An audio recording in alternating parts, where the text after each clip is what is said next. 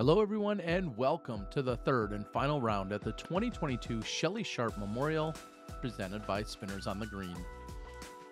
One last go at it around the track here on the MPO side. Got Nick Newton along with Kennan Johnson, Cale Leiviska, and rounding out the card is Luke Samson. All these guys coming into this on the chase card, as I mentioned, and seeing if they can make somewhat of a push. We've seen some great play here in the front nine, and now they're heading to the back. We start on hole number 10, the par 4, 651 foot dog leg that slightly bends from left to right. However, that's not really the play that we've seen from Cale over the last two rounds. We'll see what he can do here today. He essentially throws it straight up the middle, lets it somewhat finish left or left center, and then can throw a nearly identical shot after that.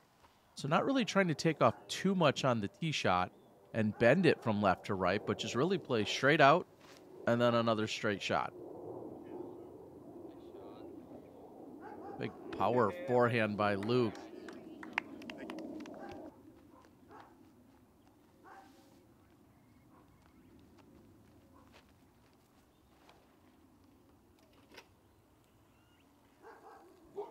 That is a great looking backhand shot there by Nick Newton. And Kennan certainly has displayed some significant power during the front nine and very effective with the forehand. Cale likes it. And this is exact same spot. Cale could almost leave his mini, I feel like, from rounds one and two to place him right here for round three. It's just a really consistent play for him. Get to that spot, throw another low line drive. Not going to see him rely on a forehand here like you are by Kennan going back to back forehands.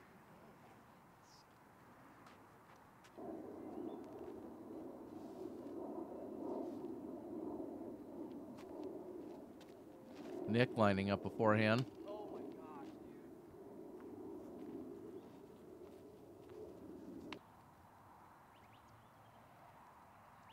Now, relatively short pitch shot here for Luke.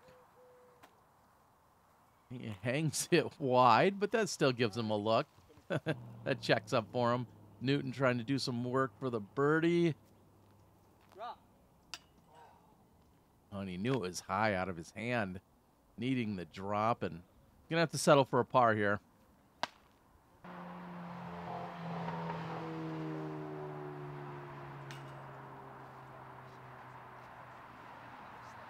Kennan's attempt off the front of the cage.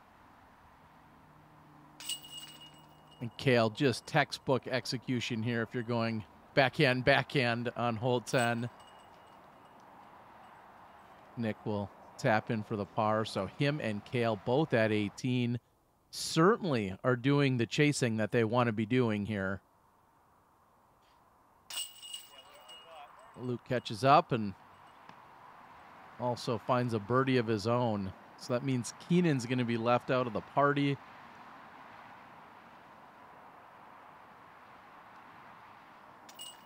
He'll tap in and we'll officially start heading back toward the start of the tournament.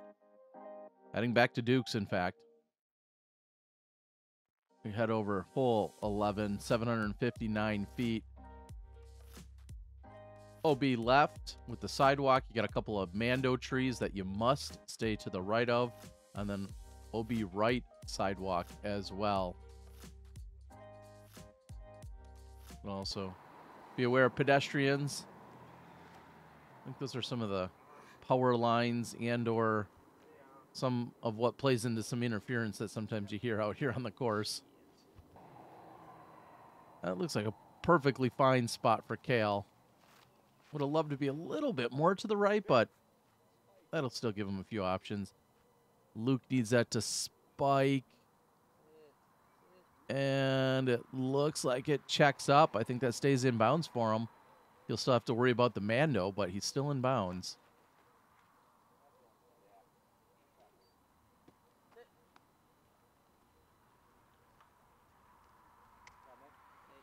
Also, options from that left side.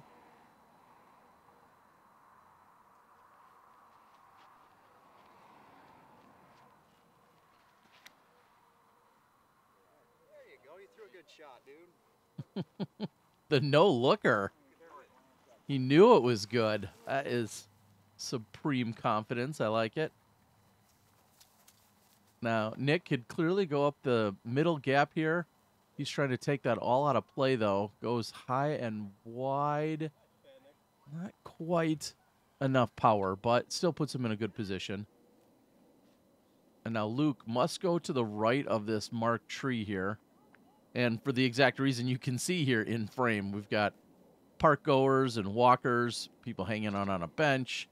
Those are all types of things that we're trying to keep the players as far away from as possible. Seen a lot of Mandos added in the last few years to try and increase the safety out here. Well, that checks up for Cale. I'm surprised he didn't go up the middle with that one.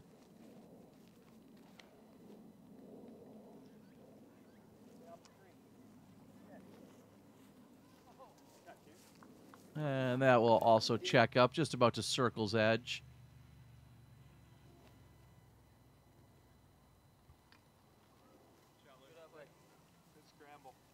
Yeah, and Luke just realizing, hey, walk away with the par. Don't, don't try and be a hero or do anything crazy. Just walk away with the par here. Here's Nick Newton for birdie. Buckets, I think they say. Cans it from long range. Great birdie for Newton. He goes to 19. Cale with the jump shot of his own. He goes to 19. They're matching each other stroke for stroke. That puts Cale seven under through 11 holes. Nick, five under through 11. Kennan. Man, you guys making it look easy out here. Solid performance on the green. I think all outside the paint even.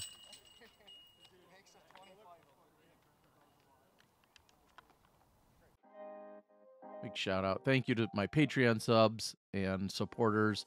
Coverage like this wouldn't be possible. I know I say it all the time, but truly, if I didn't have the support that I did via Patreon, you would see a lot less coverage that comes to you guys via the YouTubes. Little 377, slightly uphill. Man, I remember when this hole used to be considered tough many years ago, and now these guys are making it look easy. Go. Go, baby, go. Cale needs a little skip. And does it check up before OB? Green flag. Great drive by Leiviska. Nick's going to hang it just a hair wider. And a little less skip puts him right there.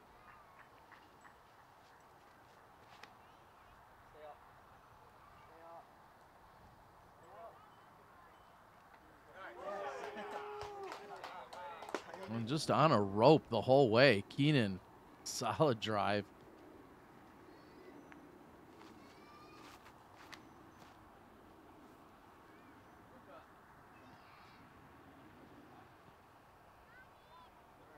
And Luke also getting up there. You find him just about circle's edge.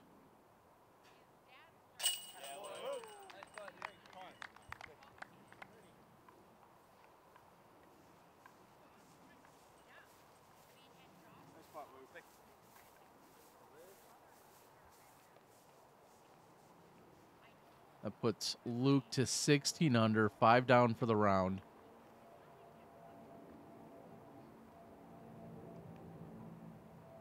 Want to give a little PSA as we're watching Cale step up for his birdie look.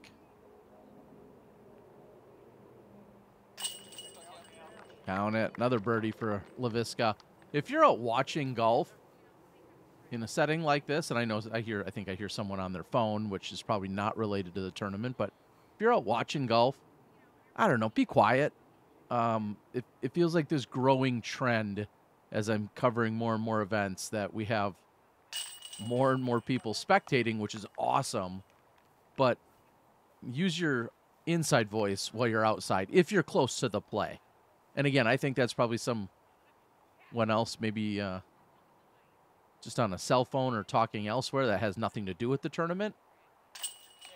But it does, it's something that's really come up in the last few months that I've been noticing more and more. All right, that's enough of my dad talk, but just simmer down if you're out there. That's all. If you're trying to intently watch, just just take it down. Maybe do a whisper if you got to tell something to your buddy, because the players can hear it. We're moving on. Hole number 13, 405 feet. Danger directly behind the basket, as you see. And then, of course, off to the right, there's danger. And then the sidewalk left is OB, along with Amando way up by the pin. hey, bud, I'm coming right out. Nick providing a little bit of direction for where he's trying to toss this one.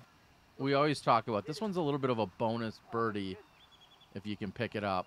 That one's leaking left side and short.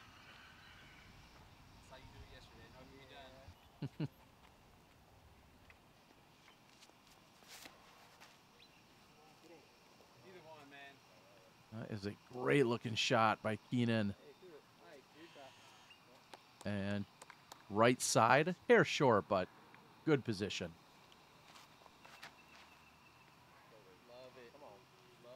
Oh, the low line drive. Does it get a couple of skips? A beautiful shot.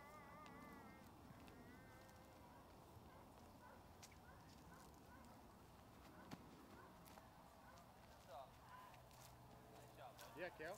I believe that's going to put Cale three for three. This might be the only hole outside of hole nine that Cale didn't get a birdie on throughout any of the three rounds. It just requires such a powerful but yet precise shot. And I'm not saying he doesn't have it, but you can't be mad with walking away with a par here. Mm, well, misfire there by Newton. Still makeable range. Oh, the high leg kick. Beautiful. Luke, six under for the round. He goes to 17. Water, death putt right behind it. Cale says, Who needs the jumper?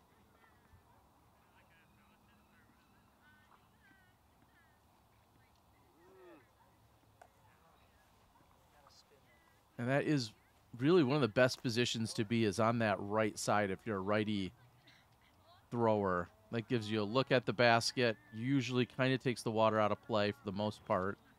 Nick has a tester to save the par. A little more stressful than than he was looking for after that original tee shot. He still has this great round going.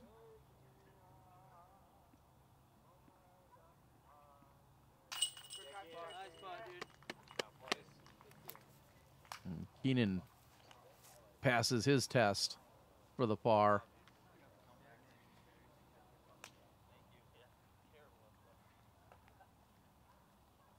Uh oh, bag putt? All right, all right. It's Cale. He can do that. We're going to head over to the par four, hole number 14. My disc in a box for all your shipping solutions. You ship one, two, or three discs. It's an adjustable size box and also will save you because you can go first class as opposed to priority when you have two discs in there. No other box on the market does that. 655 feet, hole number 14, the par four. OB left. Couple of Mandos.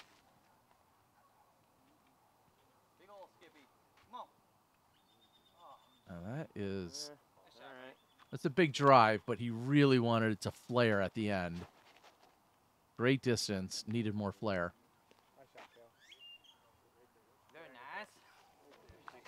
I'm sure you guys can comment.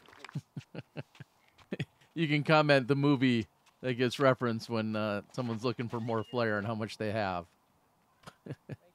Makes me laugh just thinking about the movie. Yeah. Okay, okay. that'll work. That'll work. You're good.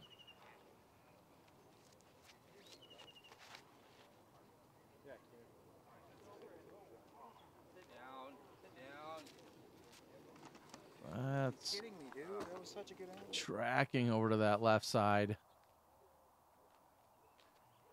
Wow, and Nick up against the Mando tree was worried about that where that one was headed. Clay, calling for the tree hit. It stops him. Here's Cale. I believe this is just a M5 mid for him.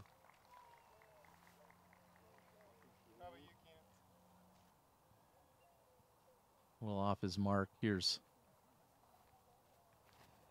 Kennan's forehand, and anytime you're on this left side, mid to left side, it just gives you both angles.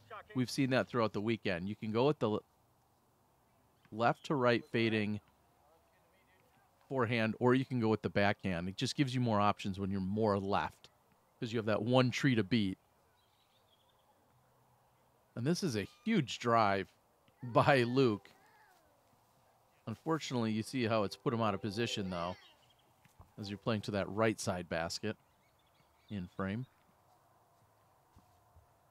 The other basket that back there is hole number five.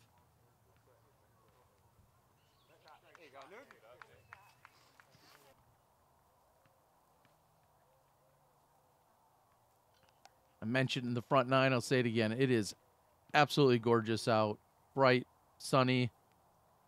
Temps in the 70s, almost no wind to speak of. And we've seen a couple long putts by Luke, but that one doesn't convert. Here's Leiviska for a long birdie look.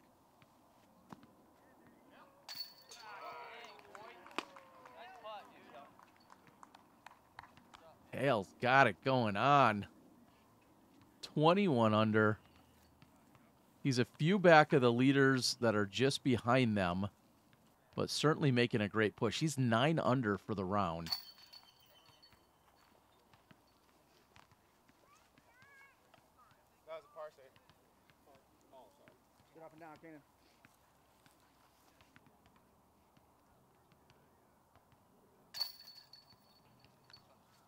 And Luke will be in for his par, as will Nick. And I'd have to go back and do some math. That looks like about four or five out of the last six I think we've seen from Cale.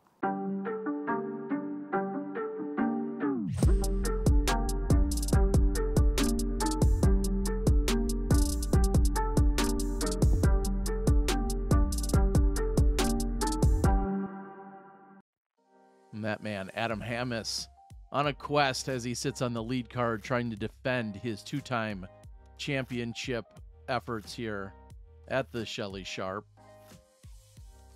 Looking at the par four, hole 15, plays all the way down the corridor and then hangs a left. You got OB just about everywhere on this one. Here's Cale with the tee shot. Gonna play the big Annie. How much does it come out? Actually, flattens out a little bit. He's in the left center side of the fairway.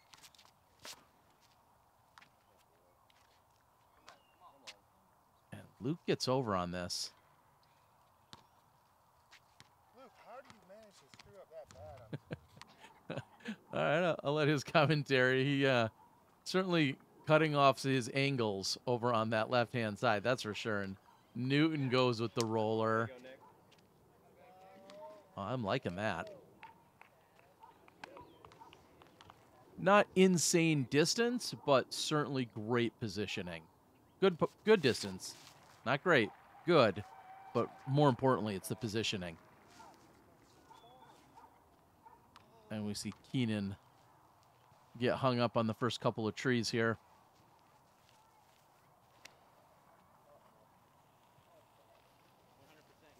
you have to worry about a huge skip or a flare that could possibly come all the way back to the sidewalk, but that stayed in bounds.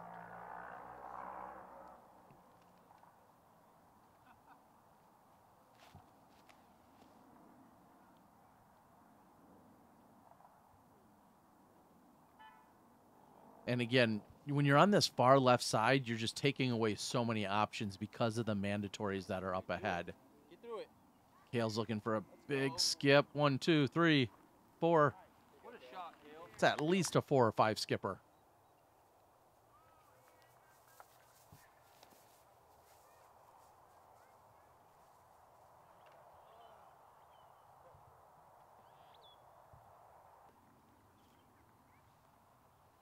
So Nick, who started off, I think he was five under through the first six holes, has cooled down just a little bit here. Still has a great round going.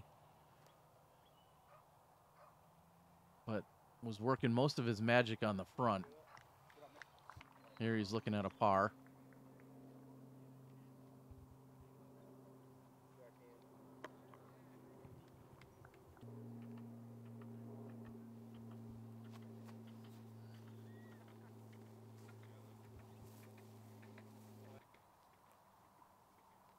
Jumper doing exactly what he needed. Here's Cale now. Wow, right side corner pocket. You didn't think that one would have necessarily stuck. All things coming up Cale right now. He's 10 under. The hottest round we've seen this weekend, I believe, is 11 under. That was shot during the first round.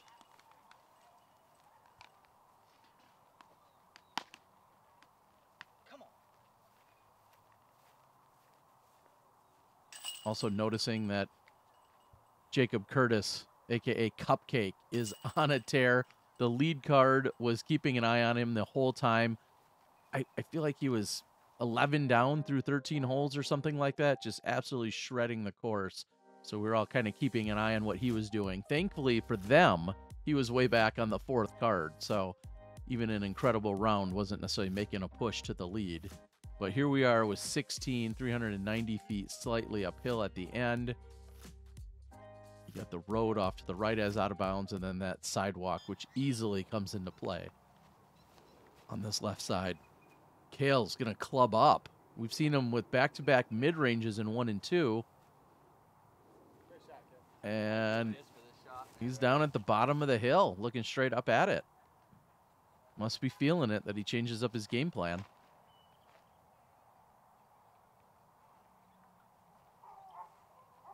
A little overcooked by Newton.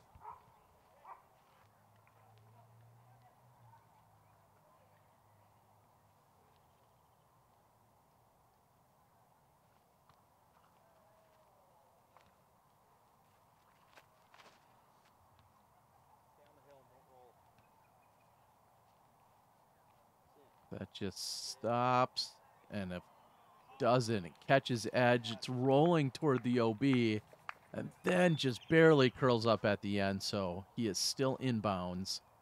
Now he have to decide how aggressive he wants to be on the uphill putt.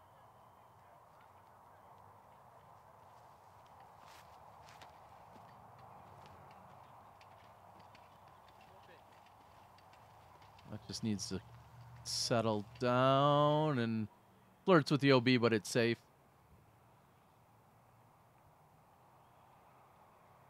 This can be really dicey because you get too aggressive here, a lot of bad things could happen. But not aggressive and a very, very smart, disciplined play, I think, that we just saw from Nick Newton there. And a similar philosophy, although maybe out of position for Kennan. Luke's from one knee's got the tree to deal with. Cash it. Nice putt by Luke. Six under for the round. He's at 17. And you see Cale just at circle's edge as well. But a step outside of it. Cale for birdie. Never a doubt. And speaking of doubts, man, if you doubt that you want to pay for shipping, well, spend at least $30 over on resistancediscs.com.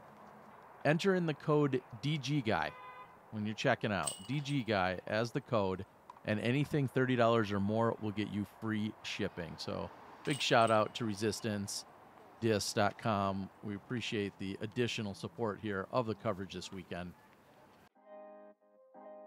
We're heading over two holes left to play. Very, very birdieable. In fact, the most birdied hole on the course 17, 243 feet. There's still plenty of danger here, but you see so many different options in terms of players going with a low forehand, high forehand, a little bit of a turn flex shot to get it to land flat. Putters, mids, drivers, every disc possible is thrown here, depending on what uh, your choice is. And Kale, no surprise, a little floater, nice and flat next to the pin.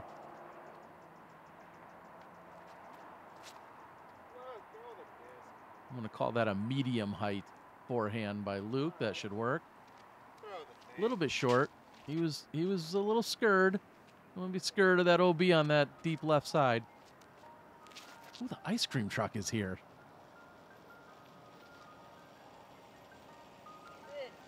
Oh, flop over already. Oh no. So slow. I think Lauryn Hill said it best. Killing me softly with that one. Oh. Good looking forehand. Kennan on the dance floor. Luke waits for the distractions. It pays off. He goes to 18.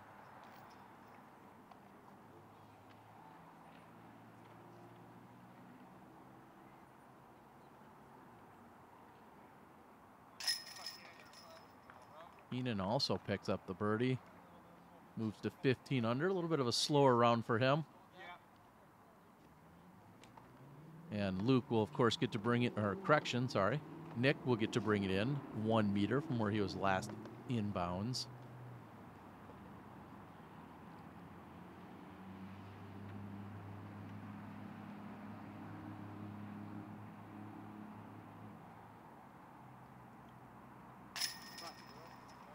That's a good par save.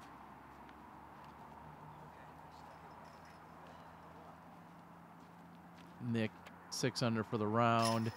Cale with that birdie moves to 24 under par. 12 under. Incredible round he's got going, and he is trying to hunt down the lead card and keep pressure on them. We head into the final hole, or is it the final hole of regulation? Hole number 18, the par 3, 381 feet, with the mandatories on the right hand side that you must stay to the left of. Anything short or left may find the water. So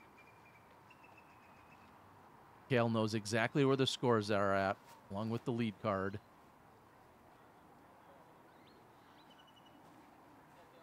And he laces one, putting it all the way up there. And Leiviska, well aware, I said, of the scores. He's at 24. Anthony Barela sits at 25 under going into hole number 17. Yeah, Luke. Luke pin high, high left side of the basket. Very makeable birdie look. And it's been a real pleasure watching Kennan here. This is the first time I've seen him or had him on coverage. Really excited to see his career. He looks like he's only a few years into it at this point, but certainly a bright future. Has some incredible mechanics.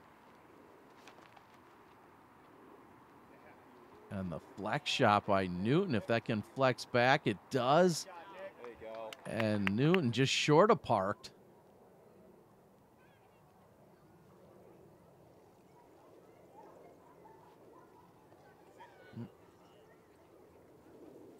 That was an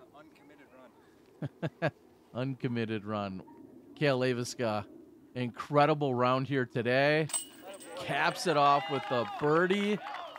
That's a 13 under. He's 25. He's going to have to just hang out on the sideline waiting for AB to close out. AB would go on to birdie number 17 just a few moments later. So AB's at 26 under with hole 18 to play. If you don't know, want to know where the scores are, well, then I would suggest probably shutting it off right about now. I'm going to show you the final scores in just a moment.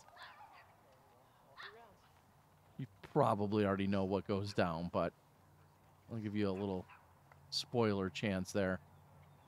Kennan gonna tap out. He's got a three under effort. And this coverage and all of this weekend wouldn't be possible if it weren't for spinners on the green, along with my boy Kyle, who picked up his first ever camera and then went out and filmed four rounds of golf this weekend. He is the one who recorded this chase card bonus footage. Thank you to my host Jamie and everyone else that was out there, all the supporters and all the people that I had such a good time with. That is the 2022 Shelly Sharpe Memorial Chase Card bonus action. AB, your champ, dethrones his good friend and Adam Hammes. We'll see you guys all in a couple of weeks. I'll bring you more action from Arizona as we're out there for the Maricopa Open. Like, share, and subscribe. We'll see you at the next one.